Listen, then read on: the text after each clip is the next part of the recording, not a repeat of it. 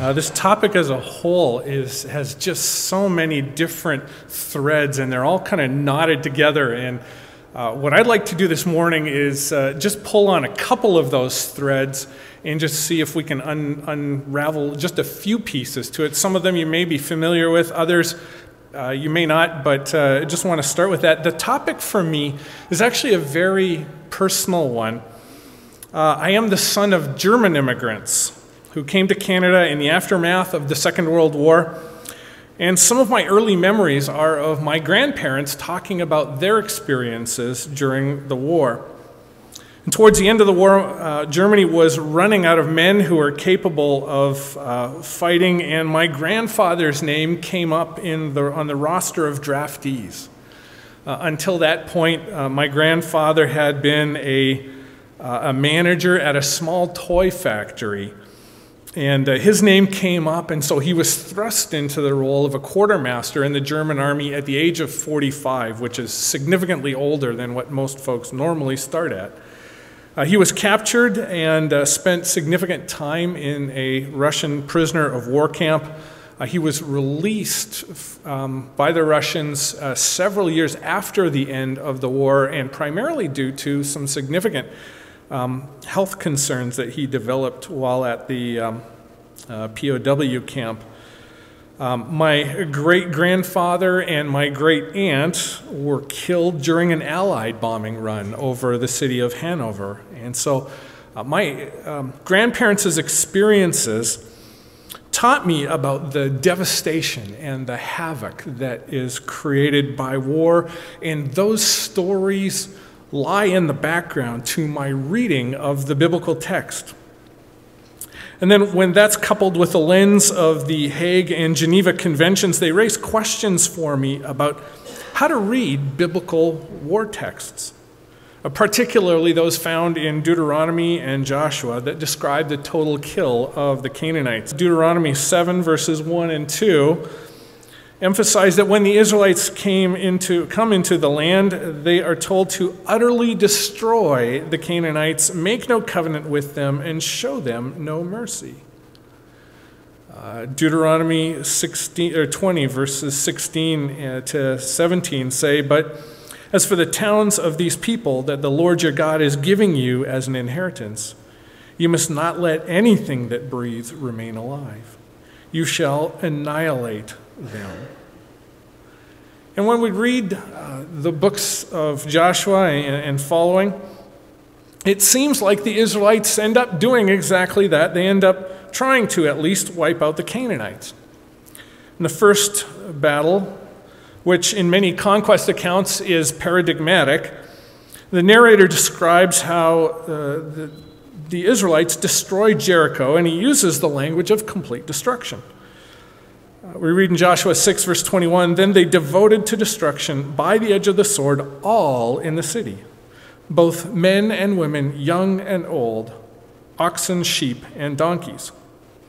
Similarly, in Joshua 10, uh, we read about a series of Israelite victories, and we're told, for example, I'm just picking one of a number here, but in uh, verse 37 we read, And they took it, which is the city of Hebron, and they struck it to the sword, to the edge of the sword, and its king and its towns, and every person in it. He left no one remaining in it, just as he had done to Eglon, and utterly destroyed it with every person in it. Similarly, the narrative summary of Joshua's conquest activities uh, says that Joshua did all of this according to Yahweh and Moses' words, as the Lord commanded his servant Moses. So Moses commanded Joshua, and Joshua did it. He left nothing undone of all the Lord commanded Moses. And then we could add into some of these texts, other texts in Samuel and Kings, and move even beyond that to the prophets. But I want to focus largely on, on these texts and I think these texts, as Marion already alluded to, raise all kinds of questions that are complex, and the tentacles of those questions go out in a variety of different directions. They're theological, they're apologetic, they're exegetical. um, and they're ethical. Uh, and so, as I said, I just want to tug on a couple of those threads this morning and, uh, and just look at ways, uh, possible ways that we might read some of what happens in the biblical text re- redemptively. But first, uh, let me just uh, point us to a couple of past solutions for how to read these texts. Uh, one approach, which uh, is typified by uh, Marcion and has been picked up on by a significant amount of other readers, um, maybe most, most recently would be C.S. Cowles in a Four, Four Views book show, uh, titled Show Them No Mercy. And essentially, their solution to the problem is to say that uh, that's just the Old Testament God being the Old Testament God. Now, the God that we meet in the New Testament as a God of love has nothing to do with the God of the Old Testament. However, I, I find that approach unsatisfying for a wide variety of different reasons. Uh, the Old Testament says much about the love and the grace of God. I keep telling my students that, and I think eventually they catch on. The New Testament has much to say about God's judgment. And then uh, Jesus and the New Testament writers also do not seem to be embarrassed by uh, the Old Testament stories. And so I, I don't find that solution particularly helpful. A second response is that the, the words in Deuteronomy and Joshua really don't mean what they say. They point us maybe in a different or maybe a deeper direction. Uh, so, Origen wrote about the slaughter of the entire population of the city of Ai. You'll read in the Holy Scriptures about the battles of the just ones, about the slaughter and carnage of murders, that the saints spare none of their deeply rooted enemies. If they do spare them, they are even charged with sin, just as Saul was charged because he had preserved the life of Agag, king of Amalek. You should understand the wars of the just by the method I set forth above, that these wars are waged by them against sin. But how will the just ones endure if they, re- if they reserve even a little bit of sin? Therefore, this is what is said of them they did not leave behind anyone who might, have, might be saved or might escape. And so essentially, Origen uh, indicates that the way to deal with difficult Old Testament passages like this is to suggest that they, they, the words don't really mean what they say. They point us to the deeper realities of spiritual warfare. But Stephen's speech in Acts chapter 7 uh, seems to assume uh, at least something happened, that there's more than just a spiritual battle going on. A third approach is uh, that the events are, are not historical. Uh, so, work by a, a, wide variety of recent scholars, among them are Douglas Earl and Eric Seibert, have suggested that the stories that we find in the book of Joshua are foundation stories. They are Israel's myths that are retrojected back onto Israel's history. And again, I don't find this solution to be viable either. Um, even if we grant that none of the texts are historical and have any basis in um, history, I don't think that solves our problem because that still leaves the theological problem of the character of God, a God who is uh, characterized or portrayed as commissioning what today we would call a genocide. Secondly, the texts that describe the uh, uh, annihilation of the Canaanites become part of Israel's collective memory, and as such, that they can still engender genocidal actions. Uh, we learned that in, uh, by looking at what happens in, or what happened in Rwanda, for example. And there are a whole bunch of other solutions. Uh, some of them are more helpful than others. Um, I don't think that there is one kind of silver bullet, one answer that kind of solves absolutely everything. But I do think that there are a few things that can be helpful and maybe even redemptive as we read these difficult texts. And so I, want to examine just a few of those elements as we uh, reflect today. One of the factors that I'd like to focus on is uh, to read the biblical text within its larger ancient Near Eastern context. Ancient Israel shared not only its experience of military conflict with its neighbors, but also the use of similar weapons, strategies, tactics, and even beliefs about the right conduct of war. A seminal work by K. Lawson Younger, uh, nearly 30 years ago now, compares warfare in the Bible with ancient Near Eastern warfare and found a, uh, and he focused specifically in the terms of the biblical text on Joshua uh, Joshua 9 through 12, but he found that there was a significant degree of overlap between the way that ancient peoples talked about or described their battles. And one of the ways that kings in the ancient Near East would showcase their military prowess and success to their publics was to inscribe their accomplishments for public display in temples, on palace walls, or on erected stones called stelae. These inscriptions enshrined the military conquests and exploits of ancient kings, presenting their accomplishments in the best possible light often. And they often made use of hyperbole. Hyperbole is a common literary and rhetorical device that uses emotionally charged overstatement to persuade an audience of a particular point and ancient Near Eastern scribes made generous use of hyperbole uh, in describing ancient war exploits. And so I'd like to look at a, a few examples of that. Um, one example is in the Egyptian account of the Battle of Kadesh, which is an epic battle between the two superpowers uh, of the time, the Egyptians and the Hittites. And Ramses II's account of the battle highlights his bravery and suggests an overwhelming Egyptian victory.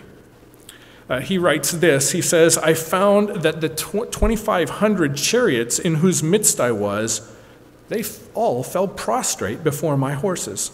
None of them were able to fight. Their hearts quailed in their bodies through fear of me. All their arms were weak, they could not shoot. They could not steady their minds to seize their javelins. I made them plunge into the waters as crocodiles plunge, so that they fell on their faces, one on top of another. I slaughtered them just as I wished. None looked behind him, no other turned around. Whoever of them fell, he did not rise again. And if you read Ramses' account of the battle, it sounds like the Egyptians skunked the Hittites. And yes, the Hittites do seem to suffer significant losses, but most scholars acknowledge that the battle likely resulted in a draw in actuality. Ramses was unable to capture Kadesh, which remained in Hittite control.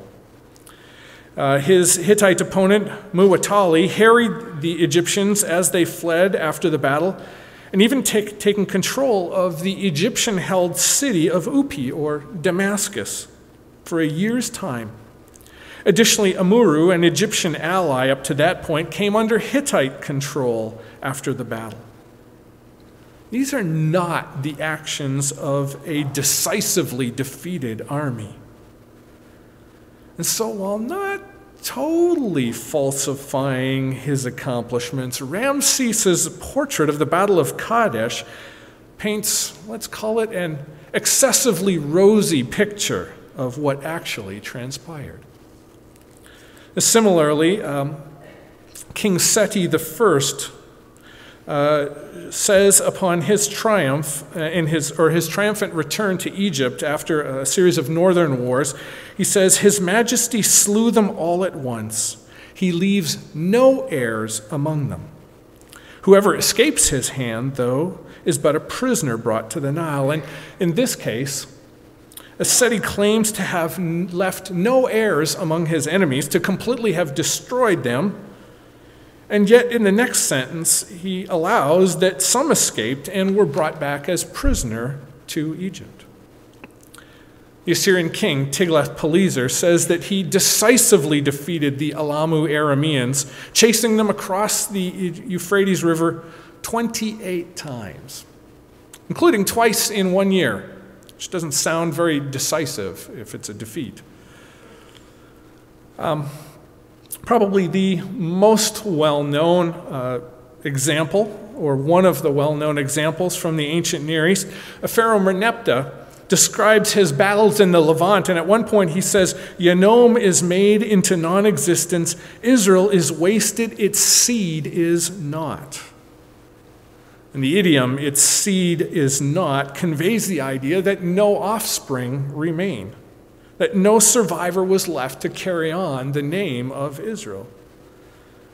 And while likely describing a battle that took place that was not recorded in the Bible, the idea that no Israelite survived Pharaoh Merneptah is clearly an exaggerated claim. And so hyperbole seems to play an integral part of ancient Near Eastern war rhetoric. The ancient world thought about and talked about warfare in an array of language that went well beyond what actually happened in order to communicate not only the military action itself, but the emotive perspective behind that of what took place. Ancient scribes could relate the complete annihilation of the enemy, while later history shows that this was not the case. Even the same battle accounts acknowledge at times the presence of survivors. And so ancient battle reportage at times claimed the conquest or control of entire regions or people groups, when other data indicates that victory was not as complete as described. I want to suggest to you that the biblical text also evidences hyperbole, and that I think the best answer that I've found for uh, wrestling through these war texts is that there is an element of hyperbole that's involved. In Joshua 10, verses, uh, verses 11 uh, or 41 to 42, sorry, say that Joshua conquered all of the territory of the Philistines. But then in chapter 11, verse 21 and 22, it says that there are still Anakites living in an area that the Israelites are said to conquer. And even after that, uh, Joshua 13, verse 2, talks about how the, the entire region of the Philistines still needs to be conquered. Joshua 10, verses 38 and 39, indicate that Israel put all of the city of Debir to the sword. They totally destroyed the town. And yet, just a few chapters later, Caleb is warring against the city of Debir. How can Caleb conquer a city that has already been completely annihilated? In a summary of Israel's conquest activities in Joshua 11, verses 16 and 17, we're told that Joshua took the entire land. Joshua 21, verses 44 to 45, uh, say that uh, Joshua took the entire land, that none of Israel's enemies withstood them because God gave all into their hands. And yet, when you turn the page and we get to Judges chapter 1, verse 1, we read that the Israelites, after Joshua passes away, that the Israelites go and ask, Who of us should go up first to fight the Canaanites? And as careful readers of Scripture, we should be asking, What Canaanites? Where did they come from? In Jeremiah 25, verse 9. Uh, we read uh, Yahweh saying that he will completely destroy the people of Judah through Nebuchadnezzar and the Babylonians and take the entire land, uh, or leave the entire land as, quote, an everlasting desolation. And yet people continue to live on the land, and once we get to the post exilic books, we find that people come back and live on the everlasting desolation. And so I suggest that, like ancient Near Eastern battle accounts, the Bible also uses hyperbole to describe Israel's battles in the land of Canaan. Battles were fought, there were casualties, indeed. But this is the way that ancient writers wrote about their wars of conquests. And so the writer of the book of Joshua is not necessarily trying to say that Israel fully conquered all Canaan to the exclusion of all else. Nor does the total kill language necessarily mean the mass slaughter of everyone in a city. Rather, hyperbole is a legitimate way of expressing the broad scope and sequence of conquest using methods common to the ancient Near East, and uh, was a way of expressing the greatness, in the Israelites' case, of the work of God. And it's interesting because we continue to use hyperbole uh, in the arena of uh, sports. And so, for example, I might be. Um, when I wake up in the morning, if I want to catch up on the morning sports or on the morning uh, news, I might tune in to City TV here in Toronto. And uh, Kevin Frankish might be reading the news, and he might say that the Islamic forces in northern Nigeria slaughtered 25 villagers, including women and children. And I would rightly be grieved by that, profoundly grieved. However, just a little bit later, maybe a minute or two later, in the same show, but now in a sportscast, Kevin Frankish might say that the Winnipeg Jets slaughtered the Toronto Maple Leafs. This year should be a good, it should be a good battle to see who comes out on top. But instinctively, we as moderns know to distinguish between what Kevin Frankish said just a few minutes before when he talked about the slaughter of an entire village. And here, when he talks about the slaughter of the Toronto Maple Leafs, we know that there aren't six bodies lying on the ice or however many bodies lying on the ice, and that the next night they've got to find six more live bodies to throw out there. We know how to interpret that kind of language, but when it comes to the biblical text, we, we often in the past haven't made use of or become aware of the use of hyperbole to describe what's going on in the biblical conquest accounts. And so I think by recognizing the use of hyperbole, uh, that doesn't solve uh, the problem. It doesn't solve the ethical questions that lie behind the conquest, but I think it does help us in a couple of ways. First of all, it does um, reduce the severity of what happened. Not everyone was killed in Israel's battles against the Canaanites, contrary to what the rhetoric of the text might say. Uh, secondly, I think what it does is it also provides us an ethical baseline within the ancient Near Eastern world. The comparison gives us a starting place for understanding normal war expectations and descriptions. Israel used total kill language to describe its warfare practices, just as others in the ancient Near East did. And such a baseline allows us to see what might be redemptive when it comes to Israel's war practices. Let me pull on a, a second thread as we think about um, reading the biblical war texts. And one of uh, the other better answers that uh, doesn't get much airtime when it comes to discussions about the problem of what do we do with Joshua and the Canaanites is that there is a second method of uh, gaining control over the promised land, and that is the driving out of the Canaanites. For example, uh, Deuteronomy chapter 12, verses 29 and 30 place drive out and total kill language side by side. Deuteronomy 12 says, When the Lord your God has cut off before you, um, before you the nations that you were about to enter to dispossess them, when you have dispossessed them and live in the land, take care that you are not ensnared into imitating them after they have been destroyed before you.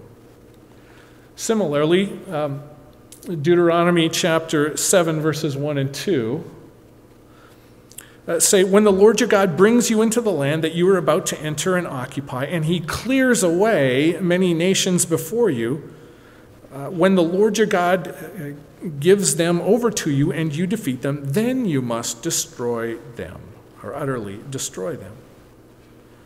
And so these passages place uh, drive out language and total kill language side by side. However, there are numerous other passages that talk about what Israel is to do and what Israel does in the land of Canaan without mentioning total kill uh, in any way. Deuteronomy 4 37 to 38 says uh, that he brought you out of Egypt with his own presence by his great power, driving out before you nations greater and mightier than yourselves. In other, uh, other examples, we see that uh, in some passages, God himself says that he will drive out the, enemy, the enemies, indicating that the expelling of the Canaanites could be thought of independent of total kill actions. And at other times, the Israelites receive explicit instructions to drive out the Canaanites with no mention of killing them. Furthermore, after the fact battle reports of what happened frequently speak of Israel driving the Canaanites out of the land without any mention of killing. And finally, uh, forward looking mid battle conquest reports of what Israel still needed to do focus exclusively on driving the Canaanites out of the land with no mention of killing. Of course, some degree of killing may or may not have happened alongside of the driving out of the Canaanites. The point here is that the biblical text often places primary and sometimes exclusive focus on driving the Canaanites out of the land. Driving out was a legitimate or acceptable war method by itself at times and also in conjunction with killing. Uh, either of these options, in a cumulative effort, would accomplish the goal of establishing a new Eden and sacred space that, inc- that included the exclusive worship of Yahweh on Yahweh's land. in this light, the goal of Israel's battles within the land of Canaan from an ancient, ancient Israelite perspective was not necessarily the destruction of the Canaanites per se, or today we might say genocide. Rather, the focus is upon claiming, or maybe reclaiming, sanctuary lands and, created, and to create the conditions for the exclusive worship of Yahweh. Again, that doesn't solve the problem, but it helps to ameliorate it just a bit. A third helpful answer, I, I think, is to look at the uneasy war God that we find in the Old Testament. Since many biblical war texts depict Yahweh's participation with Israel in warfare in a seemingly positive light, readers can conclude that Yahweh accepts Israel's warfare without reservation, commends it, and perhaps is even fond of their bloody battles, much like ancient Near Eastern gods. But when we look more closely, this is not the case. A collection of anti war, or we could call them subversive war texts in Scripture, tell a different story. These biblical texts expose our faulty perceptions of Yahweh because they present Yahweh as an uneasy or highly reluctant war God. And in our remaining time, I'd like to look just briefly at some of these subversive war texts. One of the places where we catch a glimpse of Israel's God as an uneasy war God is when we once again compare Israel's practices with those of her neighbors. And one common theme in the description of ancient warfare includes the connection between victory in battle and the building of a temple, or the restoration of a temple in some cases.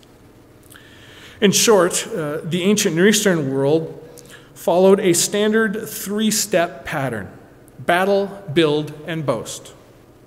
A king who fought a victorious battle would then build a temple for his God, on which or in which the king would then boast about his triumph by commissioning artists to memorialize that battle in the temple or sometimes on palace walls.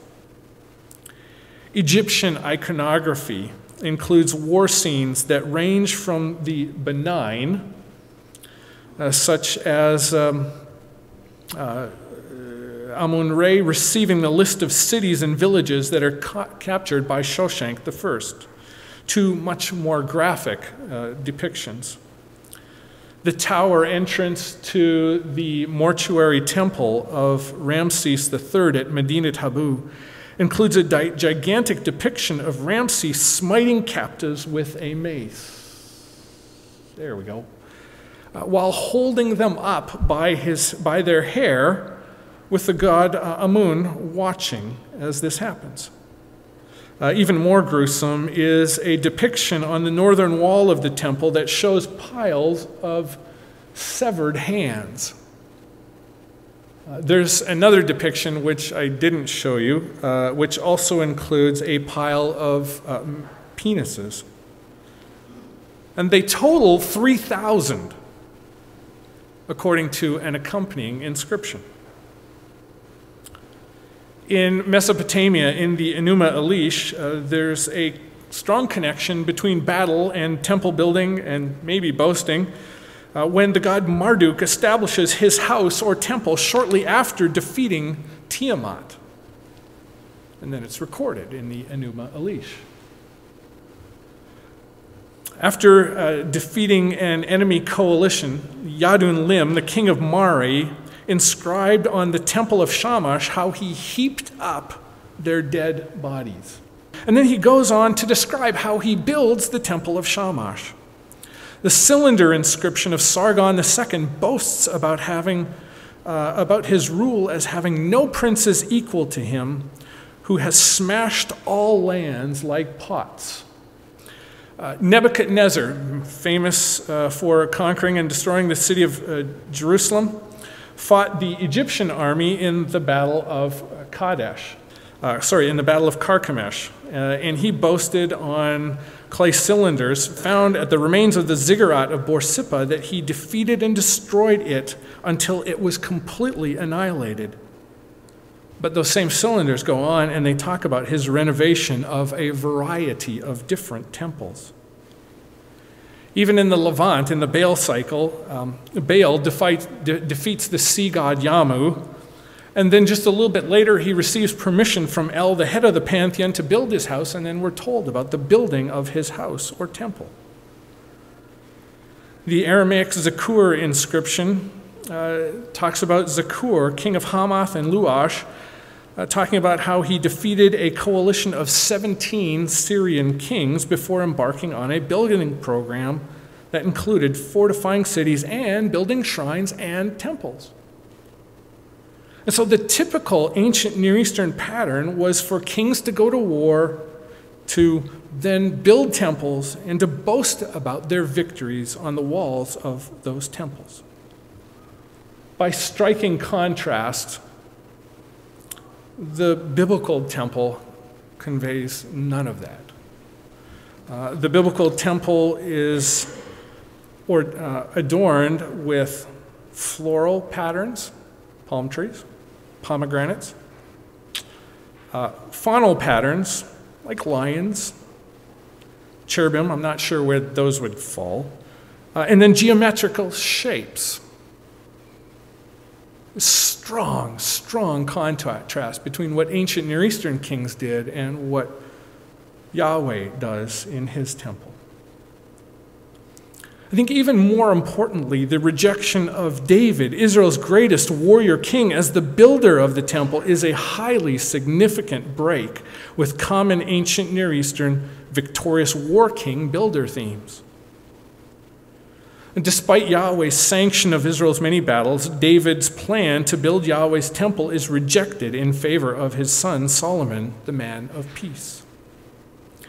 And the chronicler specifies that it is the much blood spilled and many great wars fought that lie behind Yahweh's rejection of David as temple builder. So 1 Chronicles 22, verse 7 says, uh, and this is David speaking to Solomon My son, I'd planned to build a house to the name of the Lord my God. But the word of the Lord came to me, saying, You have shed much blood, and you have waged wars. You shall not build a house to my name, because you have shed much blood in, this, uh, in my sight on the earth. And again, uh, Marion teaches this all the time repetition is key to what's important. 1 Chronicles 28, verse 3, uh, says something very similar. Yahweh's astonishing rejection of David is heightened when we consider the otherwise very positive portrait of David in Chronicles.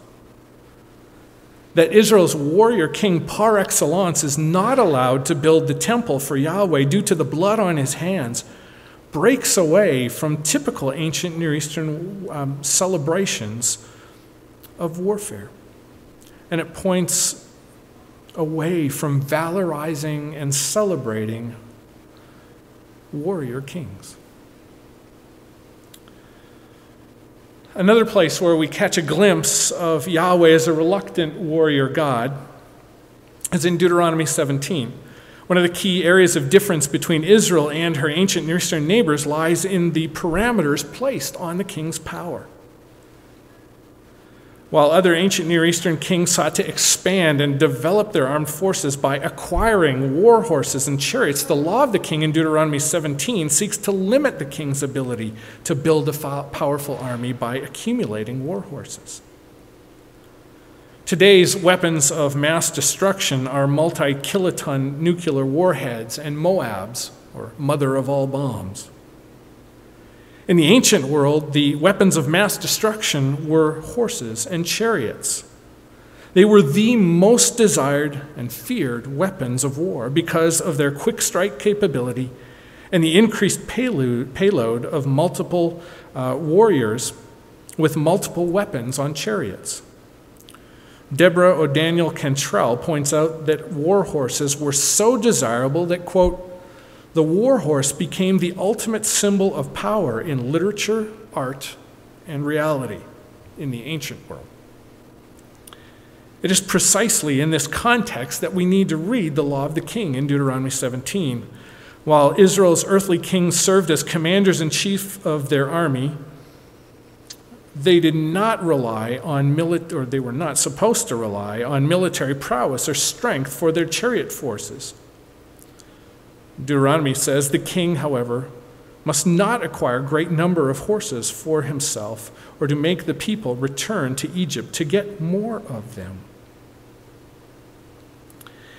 If we put this no horse and chariot picture together with a portrait of the God who does not like David's war killings, we see good evidence that the issue on the table in Scripture is not just about trusting God, though it, it is, it's more than that.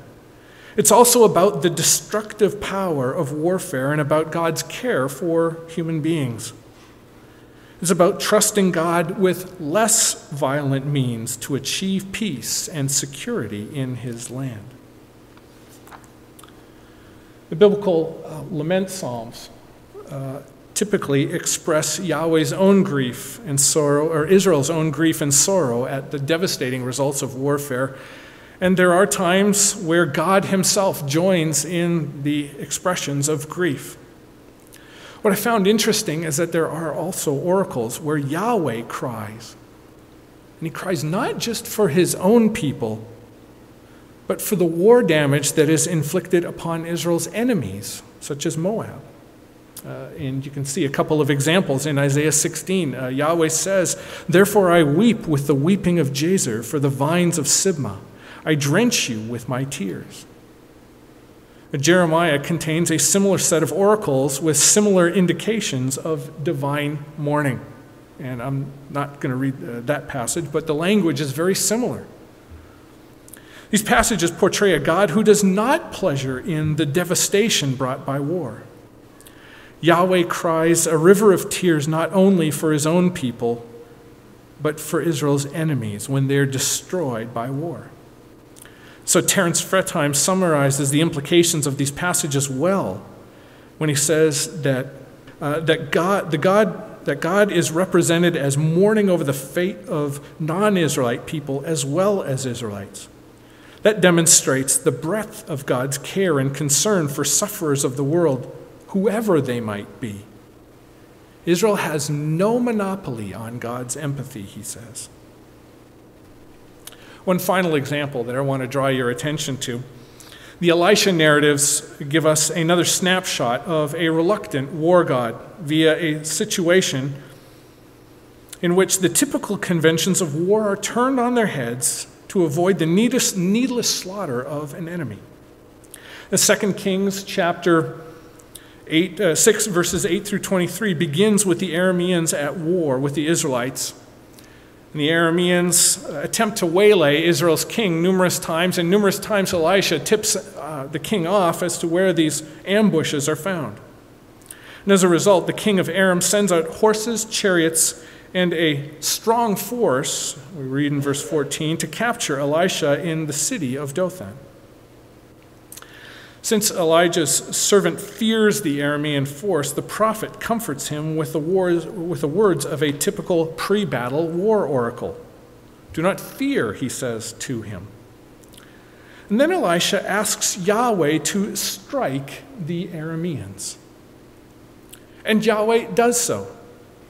The Hebrew verb nakah commonly refers to the killing of enemy soldiers, which is what the audience would expect upon hearing Elisha asked that Yahweh would strike or strike down the Arameans.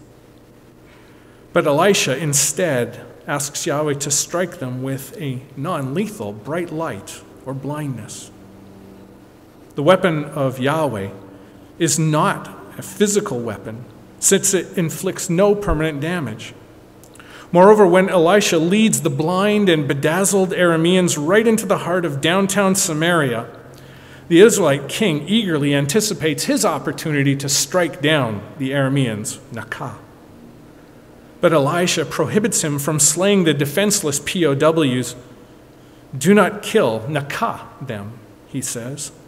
Would you kill or would you Nakah those that you captured with your own sword? Uh, instead, Elisha ensures the safety of the Arameans. He also invokes a tradition of hospitality and orders the Israelite king to set out a feast before the Aramean, uh, the captured Arameans. By invoking the traditions of hospitality, whereby guests are granted temporary family status, they re- receive protection, food, and even lodging. Mario Liverani notes that when hospitality has been granted, quote, the guest, who is in some way assimilated with members of the host household, cannot be injured and certainly cannot be killed. At the same time, the protocols of hospitality prohibit guests from harming their hosts. And so the Arameans are thereby transformed from mortal enemies into honored guests while simultaneously ensuring the safety of the Israelites. And as such, this peaceful inversion of typical war practices, particularly in light of the intimation of the superiority of Yahweh's horses and chariots in verse 17, serves as a breakout from typical ancient Near Eastern and biblical war practices.